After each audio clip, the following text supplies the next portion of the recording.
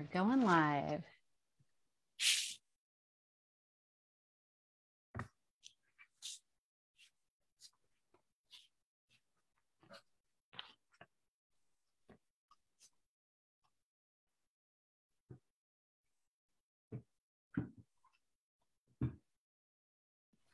All right. Welcome, everyone, to Cooking Up Mystery. Today, we're going to be talking about food, what's on everybody's mind two days before Thanksgiving, right? And um, and how it works into your novels. Um, so let me introduce everybody. I'm going to go around. Um, uh, I'll start with Joy on my left. Um, Joy writes the Deep Lakes Mysteries in northern Wisconsin, where her protagonist, Frankie Champagne owns Bubble and Bake, a bakery wine bar. Mysteries abound in Frankie's world. Uh, Jacqueline Vick, on the other side of me, writes the Frankie Chandler Pet Psychic mysteries. Her main character is a terrible cook, I hear, uh, with a really good sense of humor. And Laurie Buchanan writes suspense thriller set at a writing retreat in northern Washington. One of her main characters is I always want to Neil, Neil McCulloch, the, and, and he's the cook at the retreat. Characters often sit around the table eating fancy fare while discussing the latest crimes. Christine DeSmet writes the Fudge Shop mystery set in Door County, Wisconsin. Her character, Ava Oosterling, owns, you guessed it, a fudge shop and frequently she has a crime to solve. Um, Sherrill Joseph writes middle grade mystery, and one of her characters is a Hawaiian named Moki who loves to cook. His dishes and baked goods often show up in her books. And last but not least, Saralyn writes the Detective Parrott mysteries set in the Brandywine Valley. Um, her book, Murder in the 1%, begins with a pivotal event and an elaborate nine course meal with nine pairings, wine, pa- wine pairings, not nine pairings, wine pairings for each course. Welcome, ladies. Hi. Thanks. Glad to be here. Good to be here. here. Saralyn, um, I want to start with you since your book opens with this giant feast. What inspired you to set a murder mystery around this Epicurean delight? Well, uh, some years ago, I went to a big Epicurean feast in Brandywine Valley, very similar to the one in Murder in the One mm-hmm. And it struck me when I was at that nine course meal with nine wine pairings that um, it would be a perfect place to set a murder mystery. And the reason it that struck me so is because it was such a gorgeous table and such an elaborate meal, such an elegant guest list. And it's the last place in the world you would expect a murder to take place. So that was how the idea came to me. And that was how the pivotal event came to me also. Oh, that's really cool. Um, and then so you had to talk about all those courses. Right, right. Yeah. I did. And later, when I was writing a blog post about that, I did some research on how much that menu would cost. and just the wine for that evening for 13 guests at the table was 28,500. Oh my gosh. Whoa. Whoa. So there really are dinner parties like that. I imagine. I'm I not hosting lucky them. to be invited to one of them. That's really cool. Laurie Buchanan, what do you hope to accomplish with the scenes that are set around food and wine pairing in your mysteries? Well, I want my readers to feel at home at Pines and Quill or the desire to go there. And there's nothing better than food. Food makes us think about home. So it's food, food, and more food. Uh, Neil brings it out and they talk about it and, and they ooh and ah over it. And I want people to relate with that. All of us, uh, I can't think of anybody that can't relate with eating, and most of us enjoy it. Most, some of us enjoy it more than others, myself included.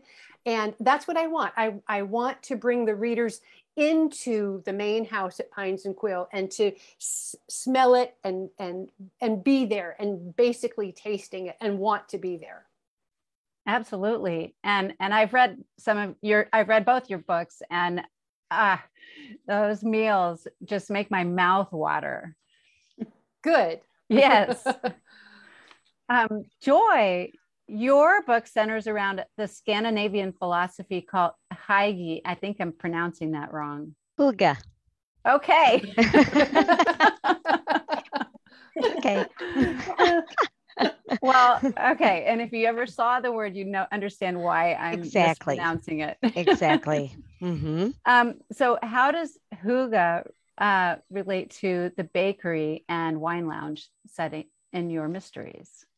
Yeah. Um, well, Frankie Champagne, who is my protagonist, um, she learned how to bake from her Danish grandmother, and um, who told her lots of Scandinavian stories, but most importantly said that the main ingredient that you put in everything you make is love. And um, and so Frankie's baking, she's always inspired by her grandmother. And so that Danish concept of hygge has has infiltrated all of Bubble and Bake.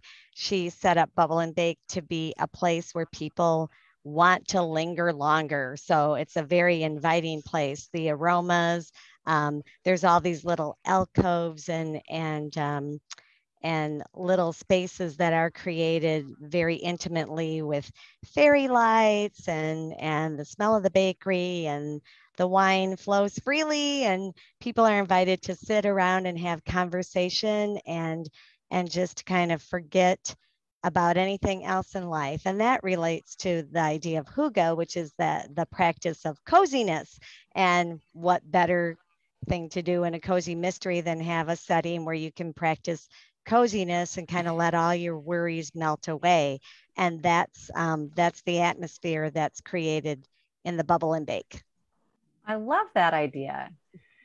And and all of you have written such great settings, by the way, that it, it they're places that you want to go and visit. Um, Christine, why did you choose the setting of your novels of Door County? Well, it has to do with the coziness that we were just talking about and the, uh, the sense of community. Um, I, I, need to say a little bit about Door County. It's a peninsula in Lake Michigan. And in the 1800s, we had Norwegians, Belgians, Swedes come over. And the first thing they did, of course, was fishing. And so a lot of fish is what you do in, in Door County. You have fish boils, which are outdoor in big steel drums, and everybody sits around and shares. And your strangers there on vacation, you know, from Chicago or wherever. And so it's all about community. Um, and from that, I decided to write about fudge because it's part of the four F words that describe Door County and, and what the setting is for my book books. And those are the fishing, the forestry, the farming, and the fudge. Um, it's very, that very much uh, reflects the history of Door County and the setting and the kind of foods we have. Farming, for example, Ava Oosterling, her parents run a farm and her mother has a creamery. So the cream for the fudge comes from that creamery. Um, and so, and the fudge itself represents all of the tourism that is popular in Door County because it's the Cape Cod of the Midwest. Um, so I'm also all about cozy food and outdoor food. And this time of year is about the Kermis in Door County. That's the harvest festival when everybody has booyah. And booyah is that big hearty soup uh, that's built about by the community in a big steel drum over a fire and everybody gets together. Every community has a kermesse. Every community knows about booyah. And if you have old ice cream tubs, you take your tub with you to the big boy, booyah festival and you bring some home. Wow. That sounds really cool. It does. It is. It's fun. um, Jacqueline, Jacqueline, Jackie, um, how does your character, uh, by the way, your book, The Scaly Tale of Murder, has, I hear, a Thanksgiving scene. Well, the thing, well, she references a Thanksgiving scene from a short story called Trouble with Turkeys. Uh-huh. Which, yeah, Frankie's not a good cook. She's Right. learning. She's learning. Um, in Trouble with Turkeys, um, she decides she's gonna. It's gonna be her their first Thanksgiving dinner that she's cooked. The first Thanksgiving dinner with uh, Detective Martin Bowers, and she's gonna do it big time. And so she goes and gets picks out a turkey from a turkey farm, um, and everything goes wrong. Like she thinks that undressed obviously means that they pulled all the feathers out, which an undressed turkey has everything in it and the feathers on. So she gets that and has to deal with that. So yeah, she's um she's not a good cook, but she's trying. And now that she's getting married, she's gonna have to learn. And fortunately, Bowers' sister June is a good cook. that sounds really fun.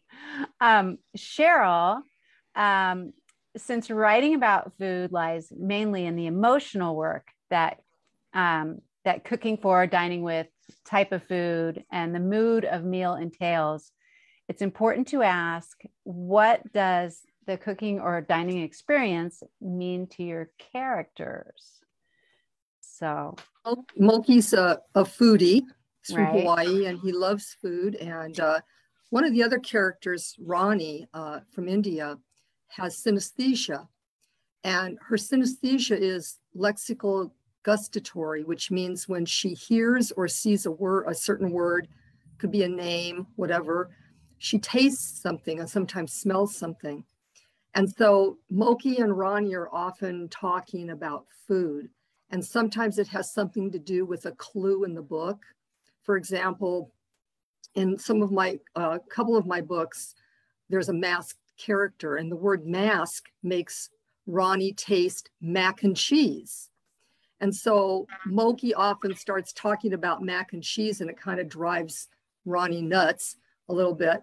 But in the third book, um, Walnut Street Phantom Rider, um, the the food discussion there uh, kind of drives the plot a bit, um, actually a lot, because Moki's talking about mac and cheese, and then another character comes along and brings the ingredients for it to the ranch house. So the kids end up staying up late one night and taking over the kitchen and making all of their favorite dishes. And of course, Ronnie makes mac and cheese and etc. And while they're in the kitchen, um, it, it, gets very late and they they have to clean up, stop and clean up. And as they're going out the back door to walk across across the barnyard to go to the bunkhouse, in rides the Phantom Rider. So that that's how it's all kind of tied in. Yeah. Yeah. And and for all of you, um, I feel like that's a really good question. Um, how how does the food and all of that come into the story to, to help with the mystery or um, to enhance the reader's um, perception of what's happening? Anybody can take that. Well, food can be a vehicle for poison. And so the food is sometimes suspect in a mystery because whoever's eaten it and died or gotten sick, um, it could be from the food. And I want to make a comment real quickly because of Christine's comment about bouillon. One of the fancy foods at the party in Murder in the 1% is bouillabaisse, which is a fish soup, right. a very, very fancy fish soup. So I'm sure those come from the same root word. So thanks, Chris. Yeah, now I'm hungry. Yeah. Tracey, to answer that question a little differently, in the first yeah. book, well, in, in all of the Sean McPherson novels, Hemingway is an Irish wolfhound, and he's somewhat of the mascot at Pines and Quill. And one of the very, very, very bad guys was going to poison Hemingway by putting poison in his food, and he did. And I'm not going to give away how that didn't come about, but Hemingway is alive and well. But that they were going goodness. to poison the dog to to to further their crime activity, but it didn't work out. So there's there's another an, another food effort there. Yeah, absolutely. And, um, and to even maybe totally different direction, my uh, main character frankie she's moonlighting as a as an investigative reporter. So her her bakery is a vehicle for her to kind of soften up people to get break them down to get them to talk. So she so she actually tries to use it as a crime solving technique like i'm going to get these people to talk to me because i'm going to bring them bakery from my shop or a bottle of wine from my vineyard. And and that's kind of that's how that's how it works in her mystery world. I like that. That's a good technique. You know and food, food winds up being like a character developer for in in my books because frankie's so bad at it. And then with the harlow brothers Edwards, I mean, he writes the, an etiquette column, so it brings out his personality when someone uses the wrong fork or what have you.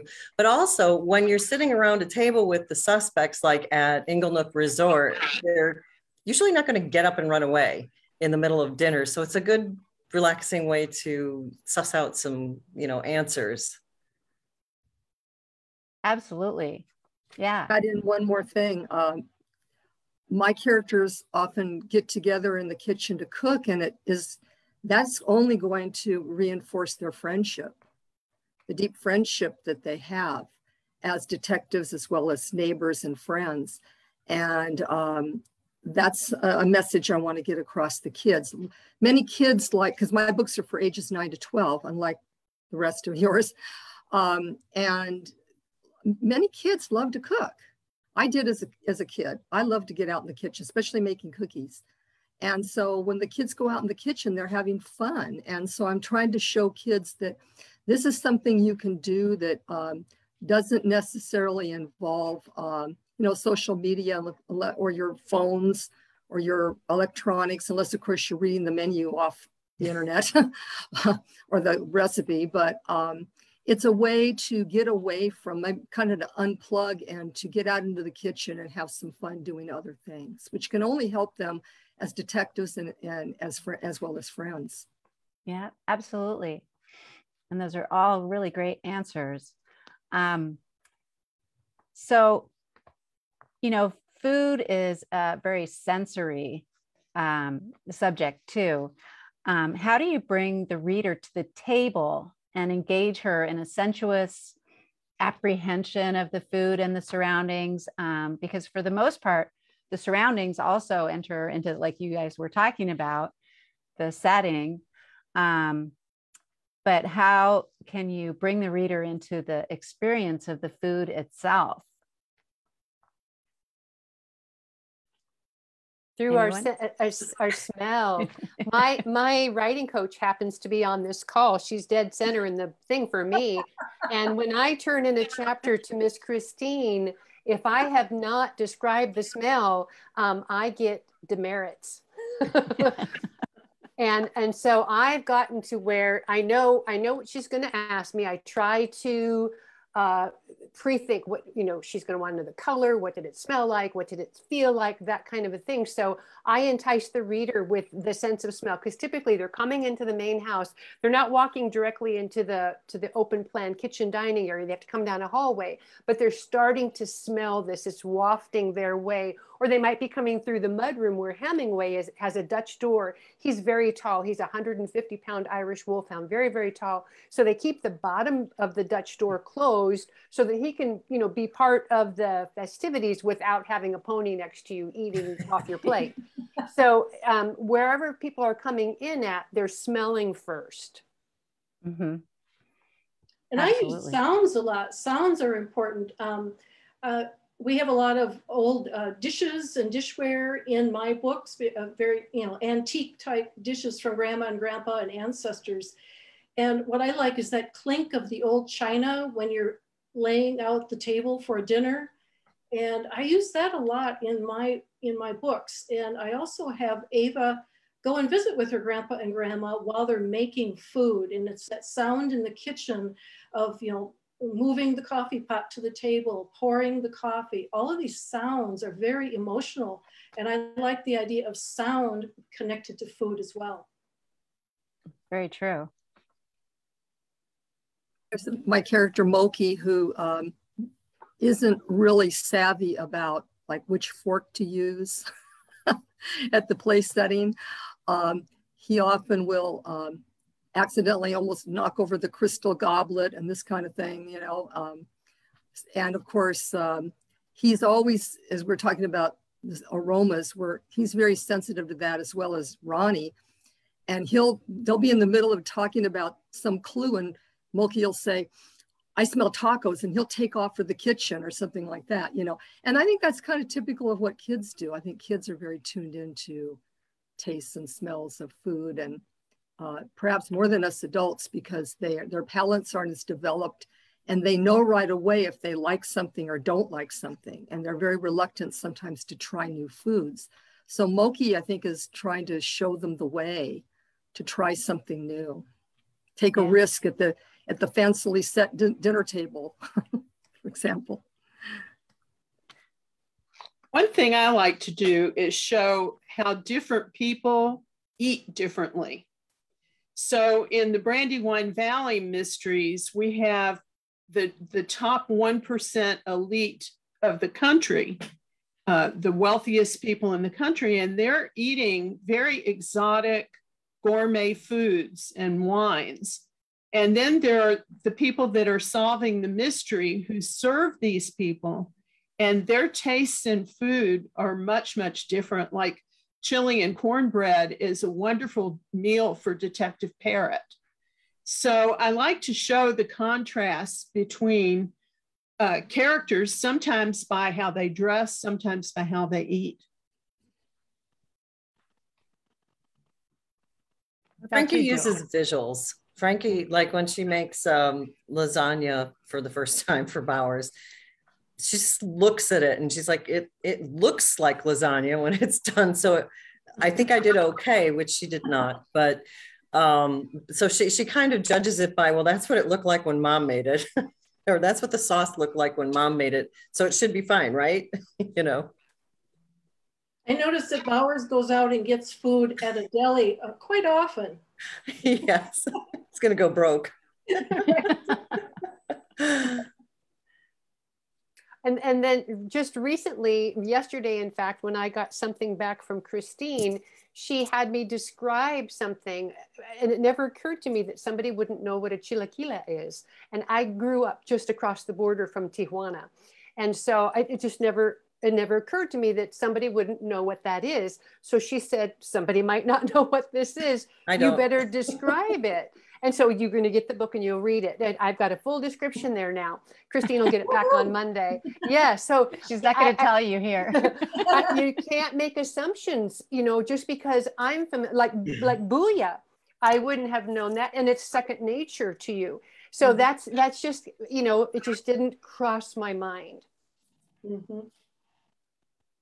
A good point. I think that's why we also put recipes right within the text. We don't save them for the end of the books. You know, I sneak in some recipes within the story itself. So you have to read the mystery to find out what they're talking about. If you want um, an ice cream omelet, for example, you're going to have to read my book. I don't have that recipe in the back.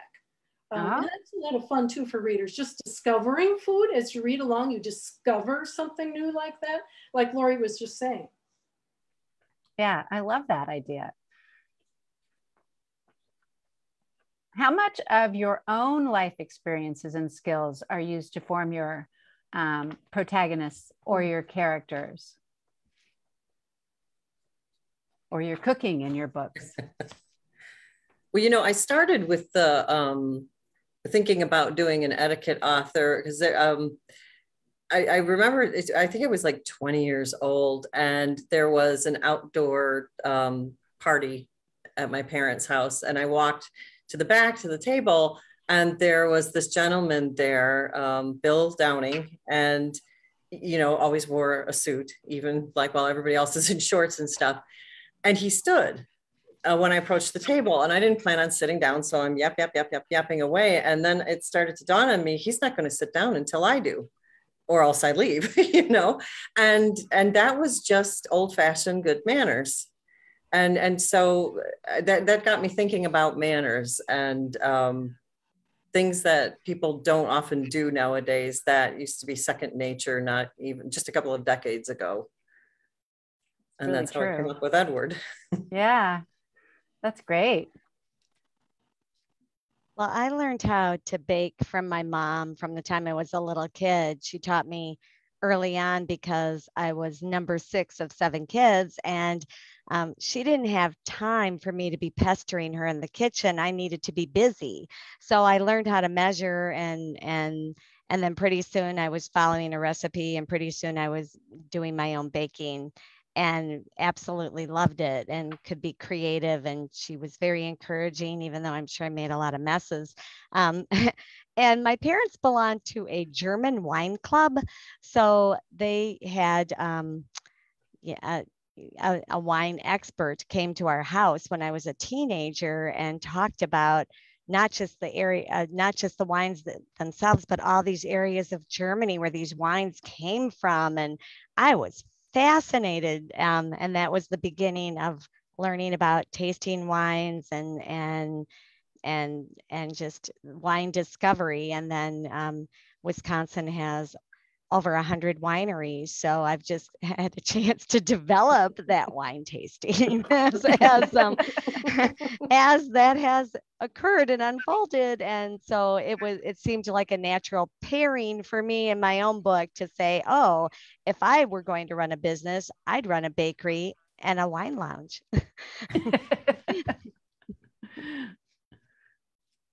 I grew up um, with my grandmother living with us, and she was a great baker. Um, especially on rainy days, um, we would get into the kitchen together and she would make cakes and pies and cinnamon rolls, homemade cinnamon rolls and the dough, from the dough on up. It was fabulous. Um, and I, so I learned how to do those kind of things. But um, being a typical kid, you know, I came up with some kind of strange combinations of foods sometimes, including one of my very favorite sandwiches, which was a mustard sandwich. And what do you think's in a mustard sandwich? Mustard. mustard. mustard. Yeah, that's about it. It's bread with butter and mustard. And and my mother would always say, you know, don't you want some cheese or some turkey or something? I says, no, then it wouldn't be a mustard sandwich. So that made its way into book three. One of the characters makes a mustard sandwich to Moki's consternation, because Moki's much more sophisticated than just mustard sandwiches. Whoa, that takes me back to uh, peanut butter and pickle sandwiches when I was a kid, and we put those in our lunchbox. Mom even made those and said those are good for you. obviously, there wasn't anything else in the house on that day, and that's why we had decent. I actually liked them. Goodness, my book, Go ahead, Laurie. In my books, Neil McCullough, the cook, is based completely on my husband Len, who is uh, just a phenomenal cook. And after he retired from the military, he was a wine distributor. So he does the pairings. He knows a lot about wines, and he's a phenomenal, phenomenal cook. And it's based totally on him. Libby, his wife, is based a lot on me. Cynthia is based on the, her appearance is based on my sister, but some of her skill set some of the intuitive things she does is based on me. So my characters have some real life um, pull from there, a snip from here, a little bit from there uh, that work that work in. Yeah.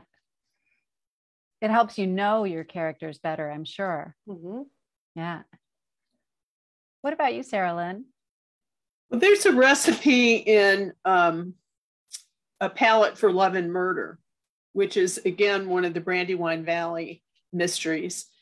And it's for a barley mush, mushroom barley soup that uh, one of my friends brought over to my house when I lost my mother. And I was grieving over my mother, and she said, You know, this is comfort food, this mushroom barley soup. So there's someone who dies, and there's someone who's grieving in that book.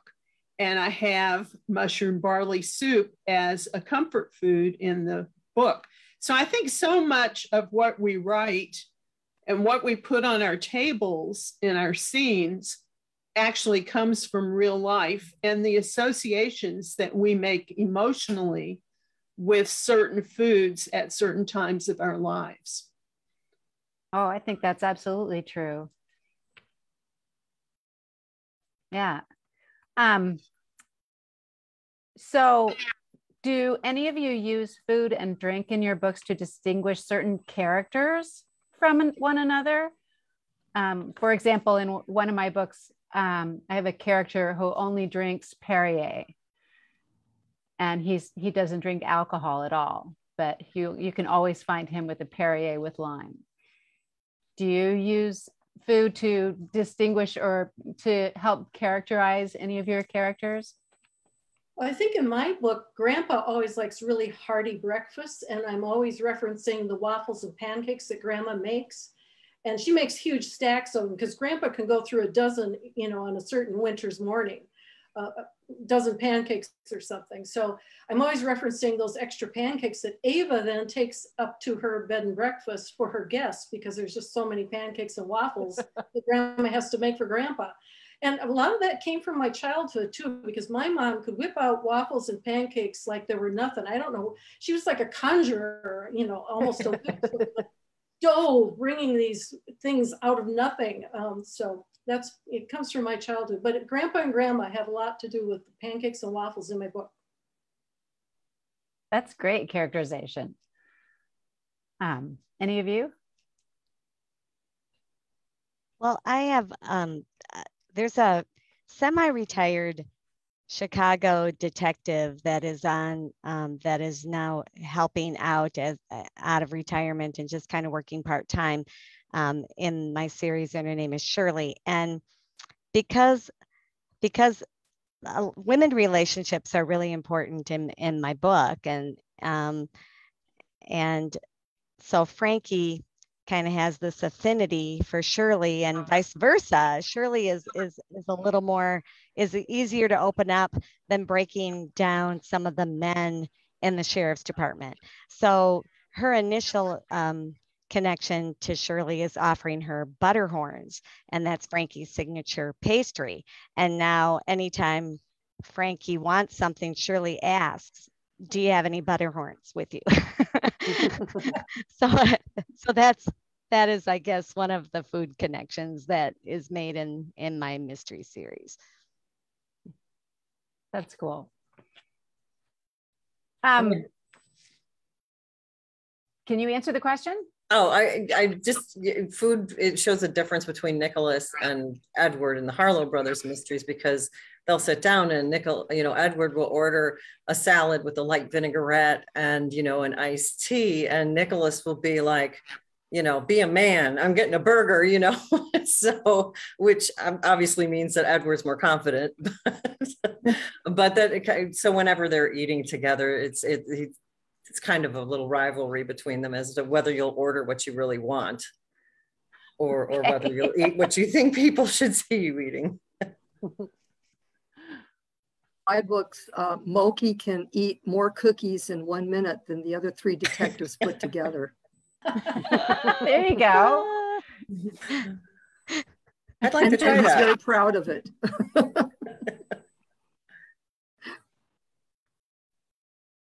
um, so let's see. I have a question just for Joy, and or maybe some of you can answer this too. But but she says you said Frankie Champagne uses baking as a business and a therapy.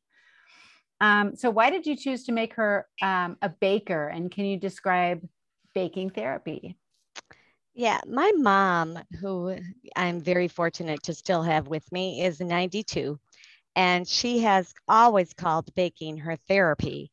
Um, I think her kitchen is her sanctuary, and and I and I can totally relate. There's something about the physical aspects of baking when you're rolling dough and forming dough you form that not only do you have that that connect that connectedness or that is rooted to your place but it's and time but it's kind of it also has a calming, de-stressing um, effect on on people when they bake. And studies also show that there's something about the aroma of baked goods and the the positive effects it has on anybody, whether you're in the kitchen doing the baking yourself or whether other people are smelling what you're baking. It's that association with comfort. And then the other thing, I'll let other people jump in too, because they probably have things to add. But for Frankie, part of that baking therapy is also part of the crime solving therapy. Following that recipe is a lot like solving a crime um, step-by-step process and how you break things down into their component parts. And when she's in her bubble and bake kitchen, that's when ideas come to her about, oh, this this person is a suspect, or this happened, and now I've got to go out and follow this trail. Mm. And I see a bunch of you nodding in yeah. agreement. Yeah, Ava is the same way with the fudge shop. I, I repeat it several time, times in my books. She when she has to think, she goes to make fudge because it's a process, a step-by-step process. It slows you down, gets rid of everything else in life and helps you focus. Baking helps you focus. Mixing up fudge helps you focus. So I use that a lot. Laurie? In the Sean McPherson novels, I flat out state that the kitchen is Neil's sanctuary. It is, and so is he has an herb garden in places that he grows potatoes and uh, some other vegetables. Um, but he's that is his sanctuary, and he he's um, very sensitive. He's a gentle man, and he's very sensitive, and he can get hurt easily. He takes on others' feelings, so he can go into the kitchen and make himself feel better. Mm. Saralyn, did you have something to add to that too? Well, I've been thinking as I'm listening to everybody speak, there's there are some scenes in Bad Blood Sisters, which is my upcoming novel, um, where the main character is getting ready for um, karate, uh, a karate event. And mm-hmm. one of the things when you're learning how to do karate or any of those um, Japanese, um, I, will call it sports, but it's not really sports, self defense, um, they tell you not to be too full. Like that you yeah. should eat to, to prepare your body, you should eat, but you should not eat to fullness because the stomach that is too full will not perform as well. Right. And so the main character uh, prepares a meal that's very different from anything else that any of us have talked about today, and it's Japanese food. So food food falls into so many categories. It's the filling and the not filling, and the healthy and the decadent, and the the rich and the poor. I mean, it falls into so many categories. It's just a universal uh, way to forward your characters and forward your plot in a story. Hmm. True, very true. Um, Sherrill? When you said that, Saralyn, it reminded me of uh, my work in progress, book four. It has Japanese characters and, uh, and Hawaiian characters. And the man uh, and he, he's in his 80s who hires the kids to find a, a missing family heirloom. Uh, his name is Mr. Yamada, and while the kids are off investigating something in his backyard, he prepares a snack for them with with tea, matcha tea, and, and different kinds of Japanese um, treats. And the kids discover some really bad news and they come back into the house and here's the this beautiful spread on the coffee table. And everything the tea and everything gets cold and it just sits there. Even moki has lost his appetite which takes a lot to have happen as they have to deliver some bad news to mr yamada about something that occurred. Um, so um, yeah food can be part of the setting as well mm-hmm. um, in that regard. Yeah And what about you, Jackie? Well, in the next book that's uh, Frankie Chandler, um, she's going to suffer a trauma and June's going to be coming down. And I, I wasn't thinking of using baking therapy, but she was going to teach her how baking something and, and working in the kitchen can actually be soothing. Like, don't use the mixer on that butter, do it by hand. You'll get out a little bit of stress, that kind of thing. Yeah. So she'll eventually find solace in her cooking. I don't know if anybody else will, but she will. uh, so, what part of the larger story is food anticipating or culminating? Um, does does it give you a moment uh, to precipitate to precipitate some movement from one plot point to another? Definitely for me, it does. I often use the food and the guests at the bed and breakfast around the table or in the living room or parlor.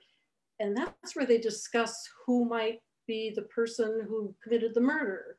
And they try and help out Ava. They're often trying to help. And of course, maybe one of them is the murderer sitting right there talking to them. But um, that's often a plot point. I, I agree with you. That's what I, I use the food for. It becomes my plot points. That's great. Um, in my book two, at the end of it, um, there's a party, a, cele a, celebration, because the kids have solved the mystery and made everything right, righted all the wrongs. And um, the reverend who owns the cathedral next door puts on a pizza party for the kids. When Moki is upset because he thought he was going to have a chance to make his incredible coconut pineapple upside down cake uh, as part of the celebration, but they had to do the celebration rather quickly and he didn't get a chance to. So book three opens with him at a party and he brought his cake to the party. so I've gone from taking that idea from one book into the next one. And then book three actually ends with part of that as well. Very cool. Well, in my first book, it's actually um, Frankie and her business partner Carmen are making hundreds of Valentine's Day cupcakes um, that have been ordered, and and they're like a, they're very specialized cupcakes. They have filling and they're jumbo size, and and it's one of those cupcake orders that actually leads to the conclusion of the plot. So I won't say anything more about it. okay.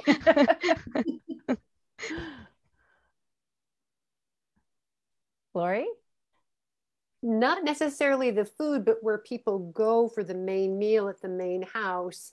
Um, I use then sometimes when different characters leave, they might not go directly back to their cottage. They might sneak off and somebody might follow them to do something not so good. But I, can, I use the, the meal to get them from point A, not to back to point A, but off to somewhere else where I can do something. It's a launching pad. Yes, it is a launching pad, a jumping off point for something nefarious. There you go. What about that you? room that they they go to after dinner? It what was the name the of that? The inkwell. The inkwell. The inkwell. Yeah, I love yes. that. What I love the inkwell too. Yes. yes. I love that idea. Yeah. We had when we, we lived in Crystal Lake, Illinois for 23 ah. years, just south of Madison, Wisconsin, where a lot of you folks are up in that neck of the woods. And my husband is a phenomenal cook, as I've mentioned. And we would have once a year, we would do one party. So we wouldn't do it all the time. And we would host, a, he would cook and do a wine pairing. We would have a hundred people and and they would come and go and we'd use our yard and that type of thing. And what was your question sherrill? You asked something very specific and i was going that way. With the inkwell. With the inkwell. Oh so our we had in that house we had we we have a very small house now. We live in a 500 square foot carriage house but that was a larger house and we had a room there. Not the inkwell exactly, but it had its own little bar type place with books and books and books and its own fireplace, uh, field stones like it is in the inkwell. and and and people enjoyed that very much. We did that for many many many years and it was one of our favorite things to do. That's great. In the last frankie chandler uh, what the cluck it's murder she's on june's um, she's meeting his sisters uh, at least half of them. He has a posse of sisters who guard him because he's their baby brother um, and dinners around the table became like a testing ground because I mean they would play pranks on her like she they had chickens and they do kill their own chickens and cook their own chickens but she like met one of the chickens with the name and and then they're like oh that chicken you're eating there is really fresh. And she's like ah you know? And she thinks it's the chicken that she she knows and they're like oh we don't name our food you know? So oh. it's kind of to see how tough she is Not very.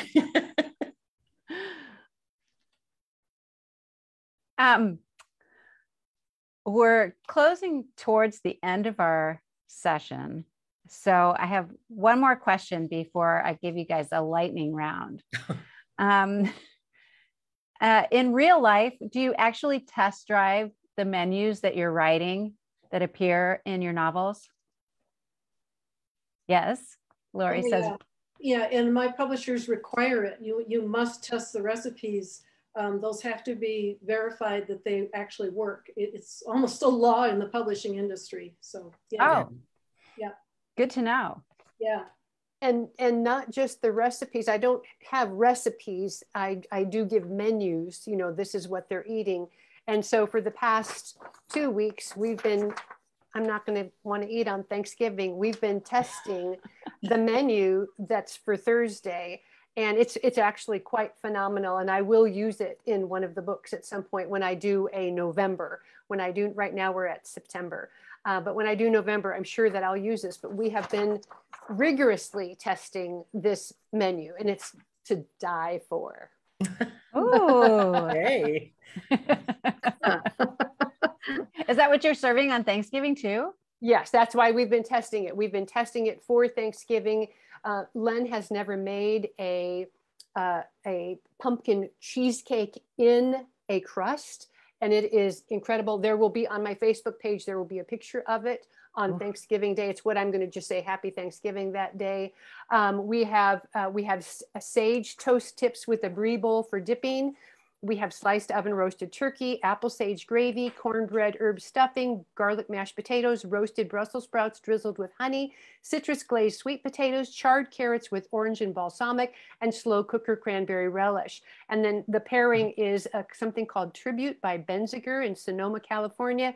And Len told me to say it's a Bordeaux blend full of grace and power, fruit forward, juicy flavors with silk and velvet across the palate, followed by a long and engaging finish. I'll be there. My gosh. yes.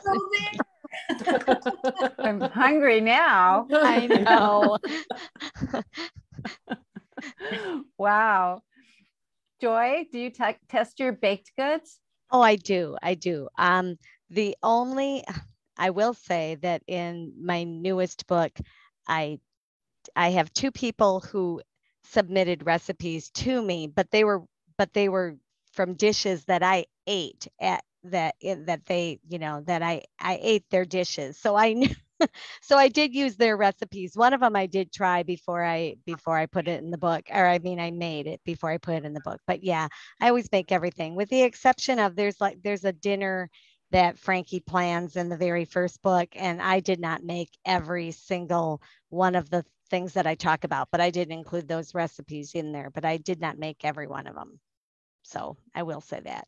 Yeah. I make everything that goes in my newsletter. And I and when I or on the website with the one recipe and and, and I write my recipes out like Joanne Fluke style, where it's like, okay, you know, check this, and if this doesn't work, and make sure you do this, and make sure your hands are clean, and you know, trying to cover all my bases because I do not want anybody to go, you know, what a lousy recipe. oh yeah, Saralyn, have you tried the the the meals in, or the the dishes in your um, Epicurean feast? Yes, uh, because I wouldn't want to put out recipes that I hadn't tried myself and make sure that they work. but it's sort of an interesting vignette about that menu because it's such an elaborate menu. The person who hosted that party that I went to long ago um, helped me with the menu. It's pretty close to the one from the party where where we actually were. And he told me that when the book makes it to the bestseller list, I have to make that dinner for him. Good deal. Yep. Awesome. And Sherrill, have you tried any of the cookie recipes that Moki makes? Yeah, in fact, at the at the end of my recipes, uh, at the back of the book for book three, I have it says sources. The above recipes were created and, and adapted by the author and her family. Um, and of course, I test drove that mustard sandwich many times as a child. that was my favorite. I love it. Are you ready for your lightning round? Mm. All right, just quick, short answers.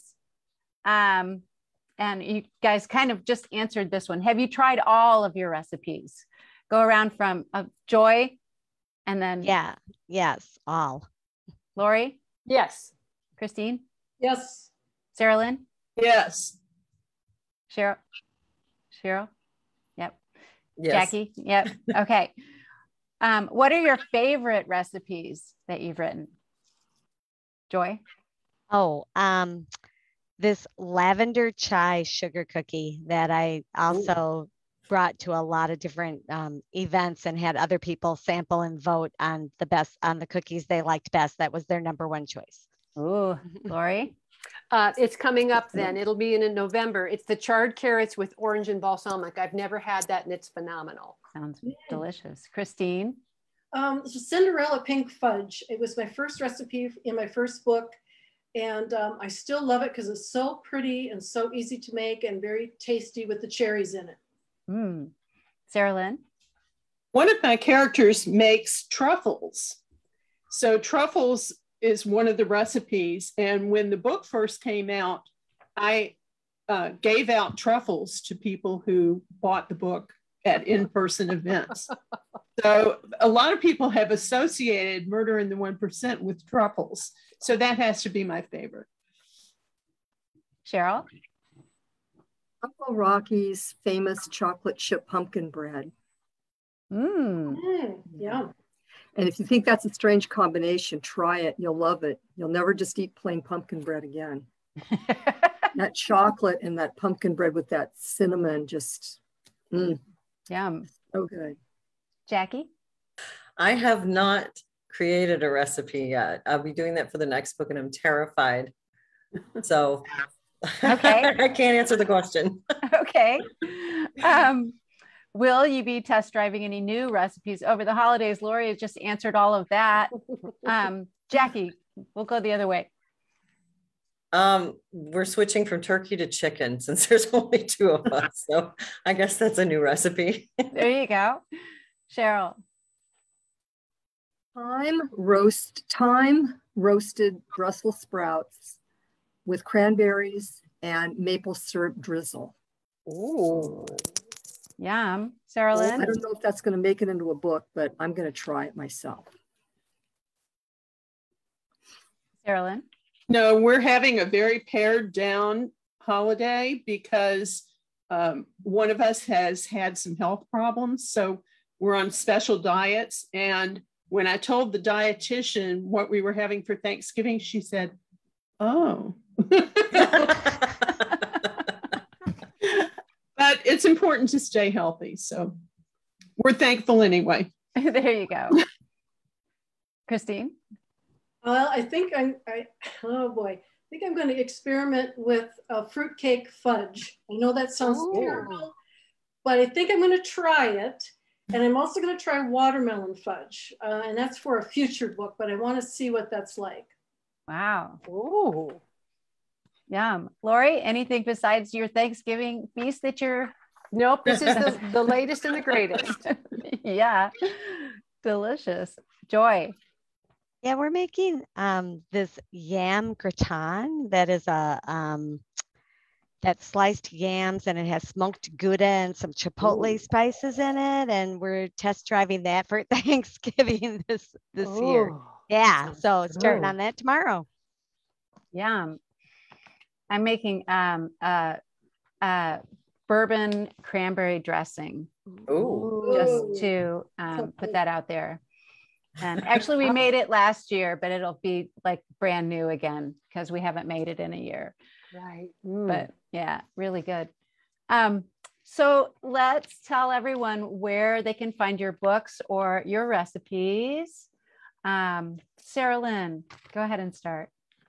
Well, the Detective Parrott books can be found on my website right now, which is Saralyn Richard at AOL. Dot, oh, SaralynRichard.com or murderintheone%.com. So uh, the other ones can be found anywhere that books are sold. Great. Um, Sherrill. You can find all my books on my website, which is sherrilljoseph.com slash books. And there are links to a number of purchase places from Amazon all the way to Barnes and Noble and indie bookstores. I really like to support indie bookstores. Yes. Christine. You can get all of my books, um, including Deadly Fudge Divas and Undercover Fudge, which I don't have a copy of in my office. Uh, Undercover Fudge came out in June, this past June. All of them are on Amazon, um, indie bookstores, Barnes and Noble carries my first three books for sure. So they're, they're pretty much everywhere. Okay. Laurie. You can find my books on lauriebuchanan.com with links to your favorite booksellers and with an emphasis on indie booksellers. Jackie. I didn't think people could see that far back. A Scaly Tale of Murder comes out November 30th, and all of my book links are on my website, jacquelinevick.com, uh, to all the usual places. and Joy. Um, recipes all in the backs of my books as well. And my books are also available. Um, they're in, they are available Barnes and Noble, Amazon, a lot of indie bookstores in the Midwest. And I'll just give a shout out to Deep Green Envy only because I'm really proud of this book. it's my newest one, but I it's also um, it it's gone to different it's it's going in different places than than my past ones and so i just right now it's my favorite child Ah. um, you know, we did have, there's one question from Facebook from Victoria, and she wants to know if your readers have given any feedback about the re- recipes.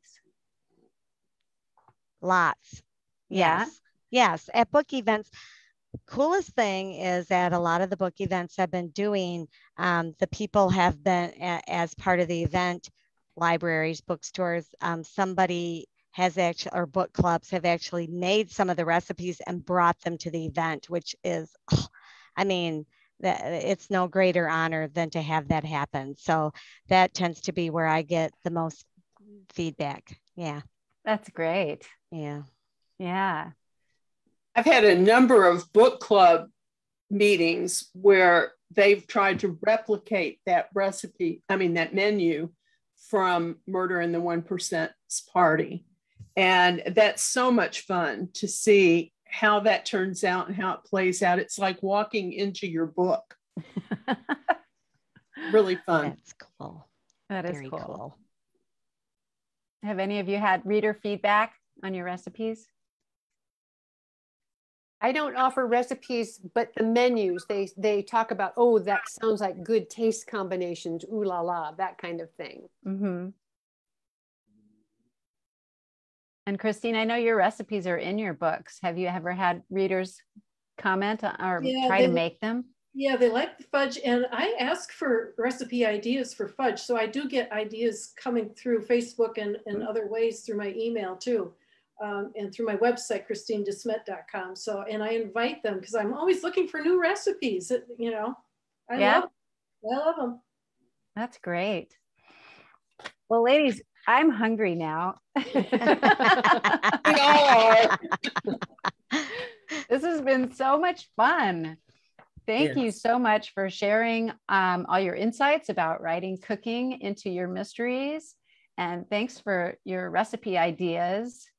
And um, now I know where to go plan my next meal or dessert.